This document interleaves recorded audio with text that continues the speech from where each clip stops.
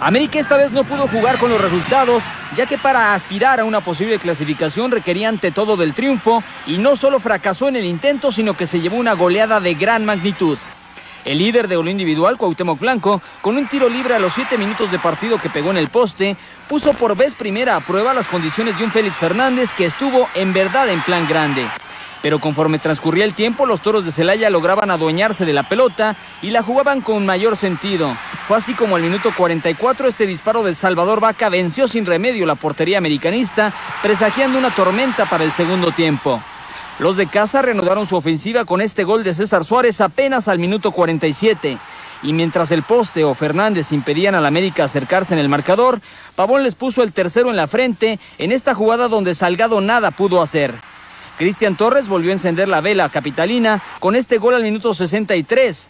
Sin embargo, Celaya se hacía más grande a cada minuto.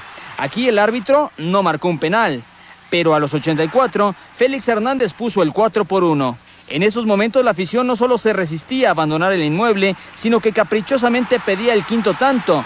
Y el hondureño Carlos Pavón los complació con este gran gol en el minuto 84. Así Celaya logró despedirse de su afición con los brazos en alto y con una sonrisa de oreja a oreja. En cambio, los capitalinos regresan a casa una vez más con las manos vacías.